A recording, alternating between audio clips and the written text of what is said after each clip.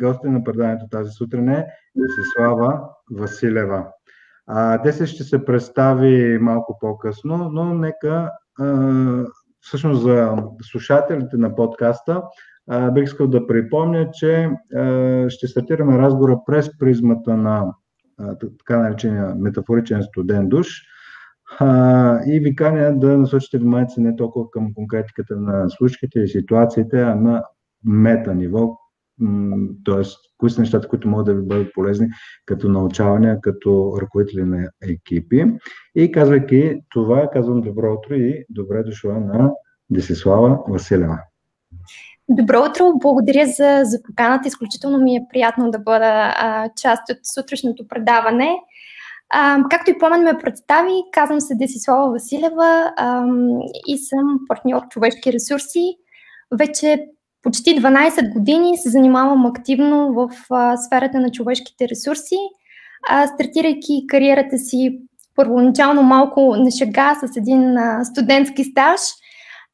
И въпреки това, мога да кажа, че през последните 12 години имах възможността да минавам през различни роли с различни отговорности, които всъщност допринесоха много за това да ме изградят не само като професионалист, но всъщност и да ми помогнат да направя първите си стъпки като а, менеджер, като лидер на екип. А, благодаря, Деси, за това кратко представяне. Ще а, засегнем различните теми, за които сподели за израстването, за ролите, за отговорностите и за, може би, предизвикателствата, които се появяват тогава, когато а, на един човек от това да бъде много добър експерт в определена област, а, така направи стъпката, в която трябва да бъде а, и да отговаря за доброто представяне или да се погрижи така, че неговия екип всъщност да има представяне, толкова да блести с, блете, с блестящи качества. А, стърки, а, казвайки това, сега нека да стартираме с традиционния въпрос, а, който обичайно в началото на самото предаване, а именно а, би ли споделила някои от твоите студени душове, които дори да са имали така стресиращо и неприятно въздействие по времето, когато са ти се случили, въпреки това обаче имат позитивно въздействие върху а, оформянето на философията и характера ти? Да, с удоволствие. А, мога да споделя, че всъщност а, по, Заемайки първата си роля като, като лидер на екип, така бях в една доста по-благоприятна ситуация с първият си екип, поради факта, че а, познавах хората, с които работя, т.е. познавах техните индивидуални нужди, техните качества. А, имахме възможността да изградим всичко от самото начало. В момента, в който обаче ам, промених а, професионалния си път, т.е. започнах работа в, в нова а, организация. Това, което се случи е, че унаследих а, един а, вече формиран екип. И смятам, че там именно а, дойдоха и първите предизвикателства от гледна точка на това а, как се борим с а, проблема по, по отношение на доверието, което изграждаме у хората, с които работим. Много дълго време ми беше необходимо, за да усетя, за да разбера всъщност именно тези индивидуални а, потребности, които всеки един от членовете на екипа а, имаше тогава. Много дълго време се, опитах, се опитвах да намеря всъщност коя е правилната формула, а, която хем ще създаде една сравнително здравословна среда, а, хем обаче ще създаде възможност и среда за израстване, за развитие на, на тези хора понякога се чудех всъщност ам, къде е правилният баланс и кое, кои са нещата, които не правя добре. Ам, имало е, разбира се, такива, такива моменти, които всъщност са били израз на, на уязвимост, която смятам, че е чисто човешка и при всеки един лидер се проявява в а, определени етапи. Ам, и много един отрезвяващ душ, бих казала, който получих тогава, е от един страничен а, човек, а, който беше извън организацията. Тогава минавах една сертификационна програма. А, наистина имах много така трудни моменти с, с екипа си, с това да ме припознаят като, като лидер, като човек, на който да имат доверие. И споделяйки с тази дама, която има повече от 30 години професионален опит като, като психолог, разработвала много личностни а, тестове, както за, а, за лидери в различни организации, така и оценявала такива. и си говорихме, тя а, много набързо ми каза, всъщност, замисляла ли си се, че вие имате различна ценност на система, и екипът ти? А, което за мен беше действително първият ми сериозен ам, душ, студен душ, който получих, защото не се бях замисляла. Тоест, бях концентрирала усилията си в това ам, да измислям различни подходи, как мога да скъся дистанцията, а, да измислям различни а, техники за това, всъщност от какво имат нужда моите хора. Било то чрез под формата на някакви допълнителни а, проекти за развитие, било това да имат повече видимост, техните резултати пред бизнеса, защото е имало случаи, в които може би а, част от екипа се чувства недооценен. Но въпросът, който тя ми зададе тогава, а, беше много валиден и през призмата на времето и на годините мога да кажа, че всъщност а, е много ценно, много е важно, когато изобщо говорим за култура, не само каква е културата на организацията, за която работим, но и каква е културата или по-скоро какви са ценностите, които изповядва лидера. И на тази база а, вече може да се, да се мисли, може би, за по, по-добри решения, по-правилни решения по отношение на това а, как всъщност даваме обратна връзка, как скъсяваме дистанция, как развиваме своите хора.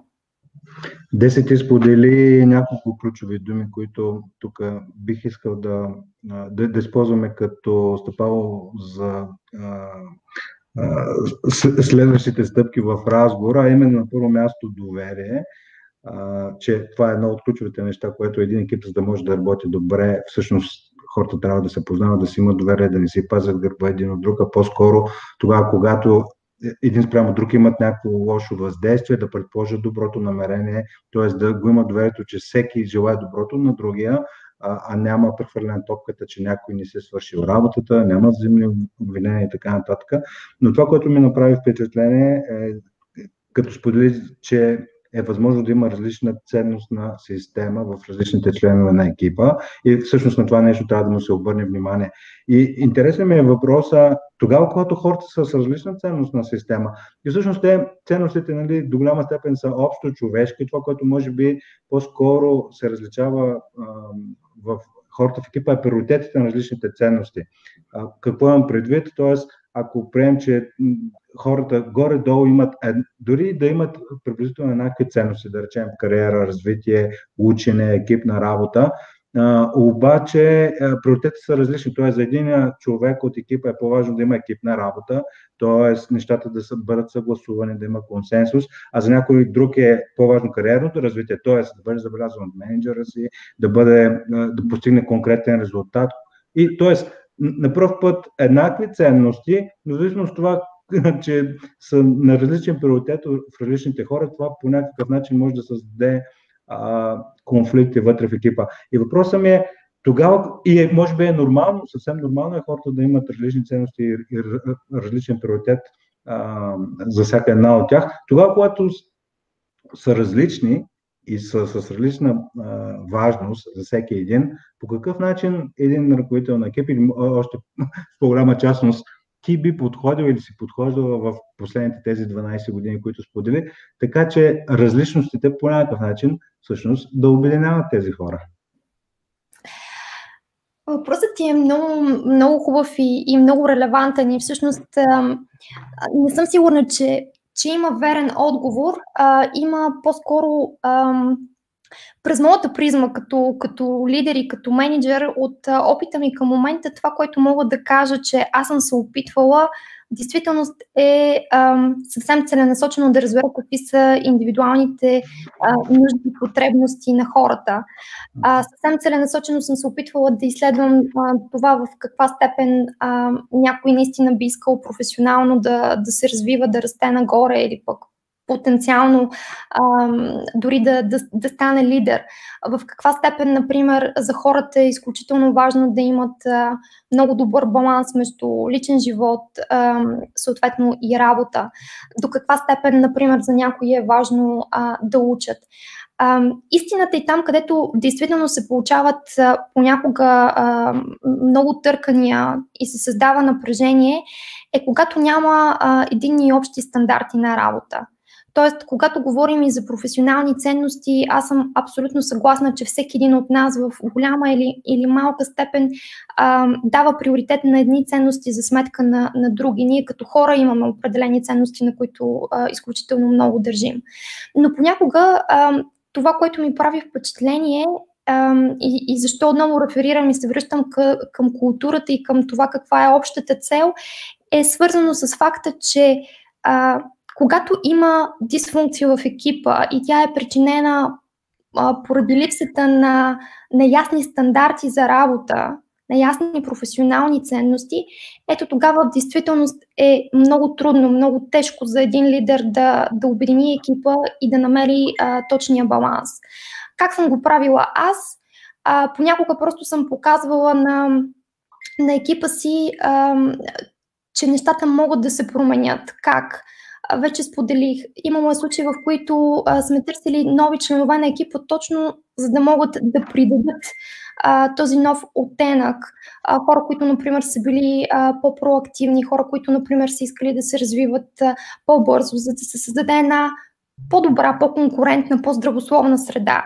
Имало е случаи, в които, например, хора а, от екипа са имали изключително силно желание да работят повече тип проектна база. А, осигуря, опитвала съм се да осигуря такъв, такъв тип възможности, т.е. да задоволя тази конкретна нужда. А, имало е случаи, в които а, колеги са, са искали или са имали необходимост от повече гъвкавост по отношение на, на дори на работно време за нещо толкова, а, според мен, вече валидно, дори като тема през призмата на COVID-19. А, така че подходите са, са различни, но много е важно а, и затова дори понякога е хубаво да се правят тези а, екипни а, тимбилдинги или тренинги, които са свързвани, са свързани с преоценка или с а, това да изведем кои са ценностите на екипа като такъв, т.е. за какво се борим всички. Това, което също така много а, помага, според мен, а, и на мен ми е помагало като лидер, е, винаги съм се опитвал да давам по-голямата картина, т.е. да давам контекст, защо го правим, кое налага да го направим, кое налага да променим, например, начина си на работа, защото това дава известно спокойствие на хората. Да. А де са всички неща, които сподели, а, а, с, са от теб към хората и всъщност това, което нали, излъчва и а, всичко, което сподели е, е грижата към човека. А, и това мисля, че е страхотна първоотправна точка. А, и в същото време в някои от предишните ни срещи е ставало дума за това, че а, тогава, когато ръководителите на екипи а, искрено желаят, искрено а, така се стремят да създадат безопасна психологическа среда, комфорт, комфортна среда за всички, хората се чувстват приети. А, понякога, ако не се оцели правилната доза, ръководителите на екипи могат да се окажат, че работят в режим, аз го наричам дундуркинг. Тоест, хората в един момент започват да злоупотребяват с това, че се изиска, че ръководителите на екипи действително търсят, искат да разберат техните нужди, искат да ги задоволят, да създадат среда. Интересно ми е по какъв начин балансираш, нали, т.е. в някаква здравословна доза, или по-скоро по какво дори разбираш къде вече грижата а, не е здравословна и в един момент може би трябва да се балансира с малко повече асертивност, неща, може би а, припомняне и връщане към тези ясни стандарти ясни принципи. Наскоро в един от тренингите, който водихме, един от менеджерите каза, нали, много ме е грижа за хората, но истината е, че ние сме демокрация, а корпорация. което така, освен че има Рима, има и много истина в това нещо. А, та, по какъв начин така оцелва здравословната доза с грижата към хората, а, така че реално и ти да успявате да се постигате целите като екип, а, но, също, но също така да я подовлетворяваш за всички начини. Ами, аз опитвам да следвам едно а, златно правило, което, което имам. А, в общи линии действителност за, за колеги а, през годините, които са били нови за екипа или, или нови за организацията, действително съм се опитвала така за един по-дълъг период от време а, да бъда на, на разположение, да подпомагам а, много активно процеса по а, онбордване, по адаптация.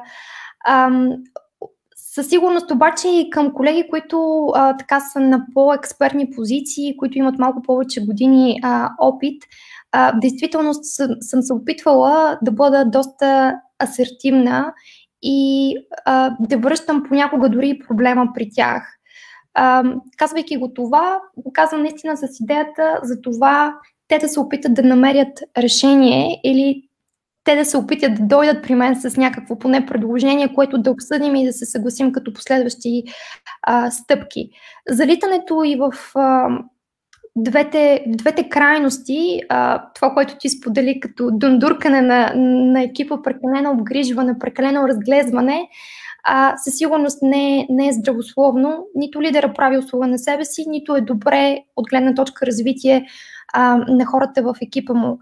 А, и действително се опитвам да намеря и през годините златната среда, да, да има асертивност, малко повече а, коучинг, малко повече въпроси, които се опитвам да, да създавам, а, да провокирам активност, проактивност а, у хората, така че те да идват с идеи, те да идват с решенията, дори и с проблеми, но поне с някакви а, предложения за това как можем а, да намерим заедно а, решение. Защото според мен това е правилният път а, за, за развитие на хората. Така надграждаме, така се учим, а, когато не получаваме готови решения.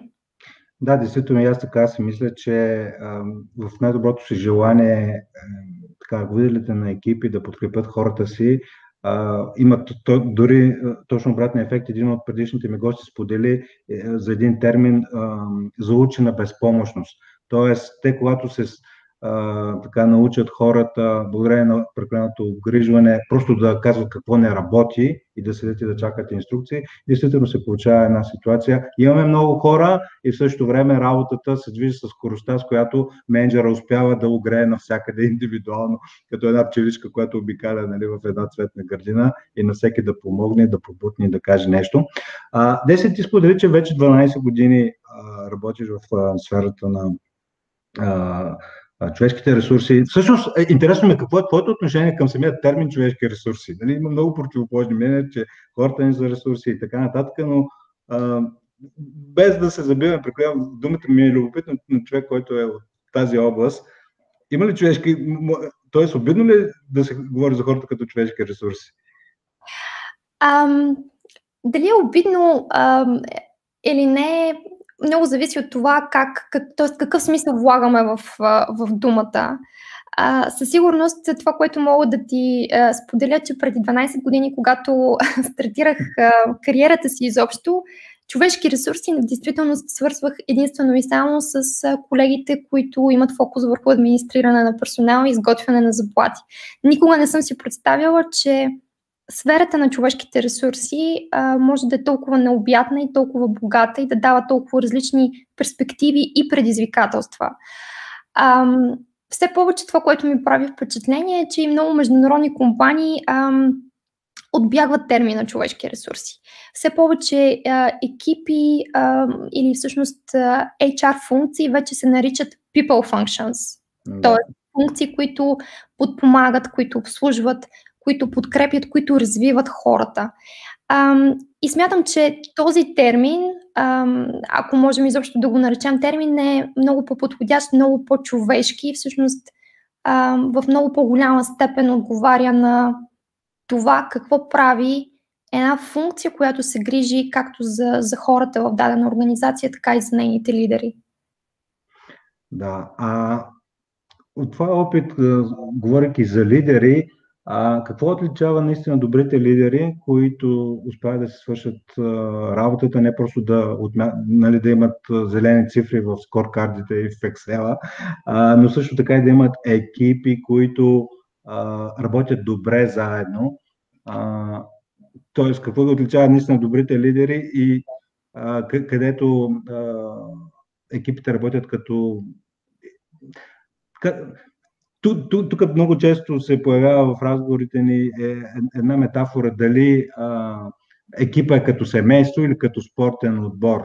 А, и аз по-скоро гледам на. А, ми харесва метафората за спортния отбор, защото а, тогава, когато човек има, да речем, роднина, който просто му е роднина, не, не може да го уволни, а, докато ако е треньор в спортен отбор, който цели първото място, а, разделянето с, игра, с определени играчи всъщност дава някакъв сигнал от една страна, но от друга страна помага и така да се поддържа високия спортен дух.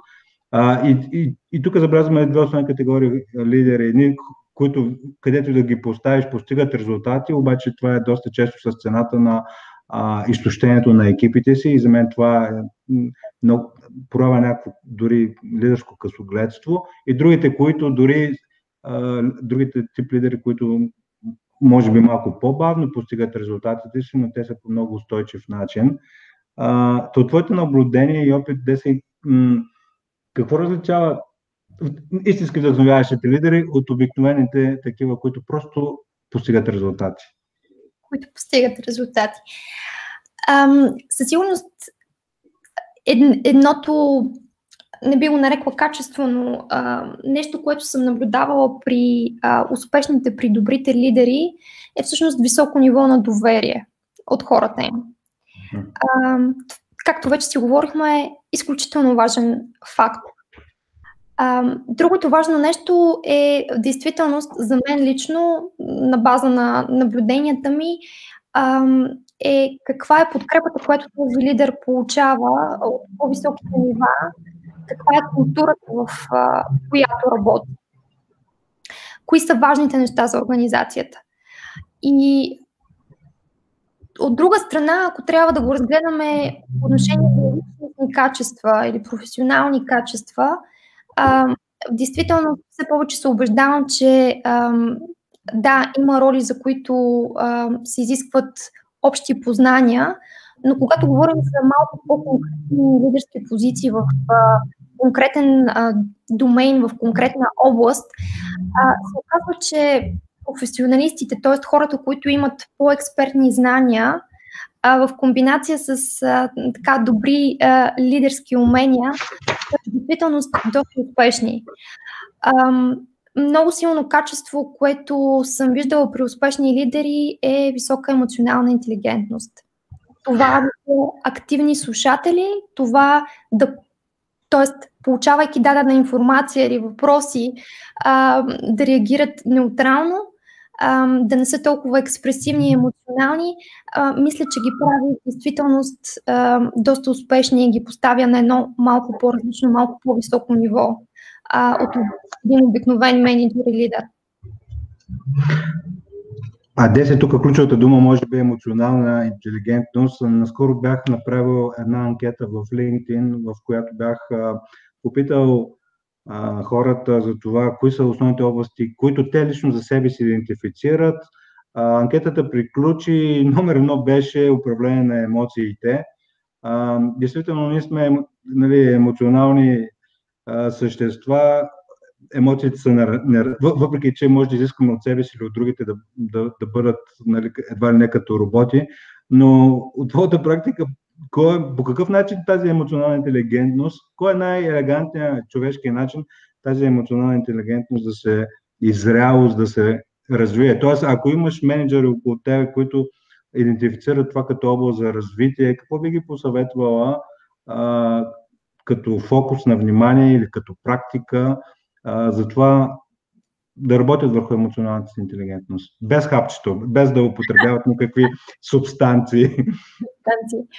Ам, ами, според мен има няколко, няколко различни а, подхода. Ам, от една страна, може би ако, ако човек работи с а, професионален коуч, с треньор, това би му помогнало. Би му дало една доста, доста различна гледна точка. От друга страна, обаче си мисля, че в една чисто практическа среда, в която всеки един от нас оперира на ежедневна база, най-добрия лек, ако мога така да го нарека, или най-доброто хапче за справяне с тези емоционални моменти, е ако имаш в действителност колега или ако, ако намериш някой колега, който е много добър, т.е. който има много високо развито ам, висока, високо развита емоционална интелигентност. И в това нещо, а, действителност, можеш да намериш кои са добрите практики, т.е. какво прави той, как реагира в дадена ситуация. Аз съм имала такъв а, случай и за мен това е бил най-полезния, най-добрия начин за учене, гледайки отстрани как човек се справя в една а, така по-напрегната ситуация, където емоциите буквално а, от отсрещната страна избликват.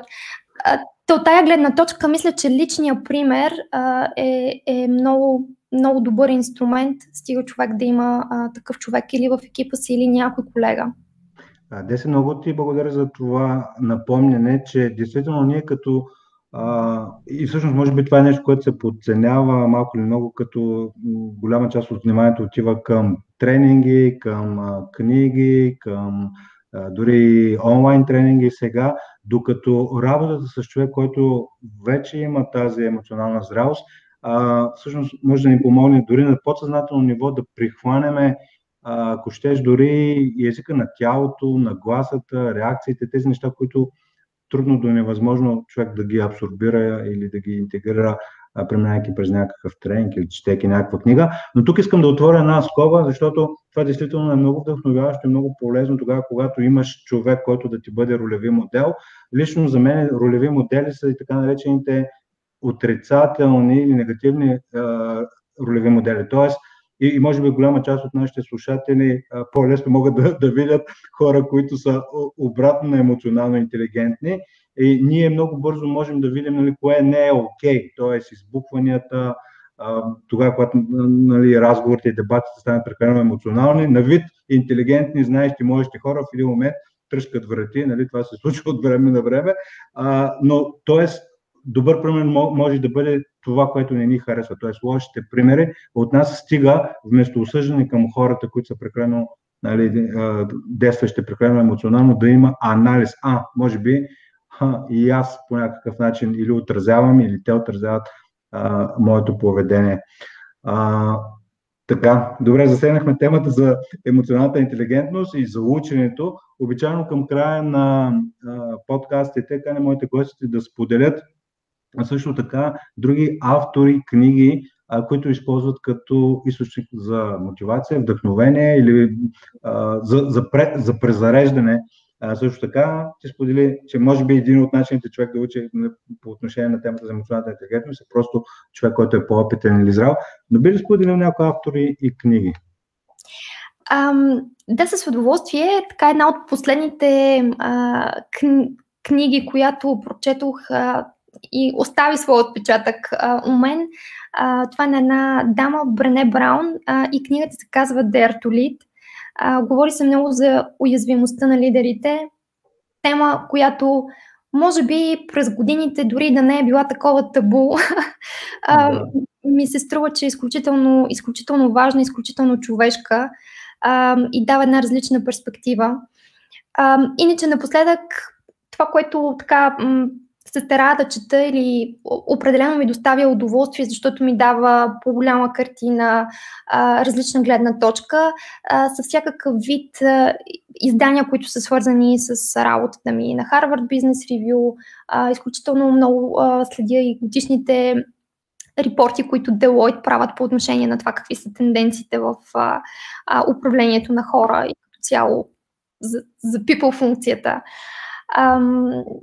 Така че намирам, определено си намирам доста, доста източници, които чета ам, и които ми помагат всъщност да, да се вдъхновявам. Е, чудесен на финал. Dare to Lead на Брене Браун. Аз мисля, че все още няма на български тази книга от тази авторка. Тя действително е като човек. Тя има, между другото, тук искам в една скоба да вмъкна и че има много хубав TED Talk за уязвимостта и проявата на уязвимост. Да. Така че Брене Браун, Harvard Business Review, Deloitte. Деси, много ти благодаря за днешното участие в сутрешното предаване за менеджери. Беше много приятно да си поговорим, да споделиш от твоя опит. пожелавам ти много успех в работата, вдъхновение и А, така, надяваме се, а, поля се надявам септември да няма втора вълна на този вирус, така че а, малко по малко да се завръщаме към новото нормално. И аз благодаря изключително много за, за поканата. Ам, абсолютно пожелавам и, и на теб, и на твоя екип много вдъхновение, хъс, ентусиазъм а, и нови проекти. И да, дано, дай Боже, в септември месец а, да се върнем към новото старо нормално. Благодаря, Деси. Чао. Чао, чуване.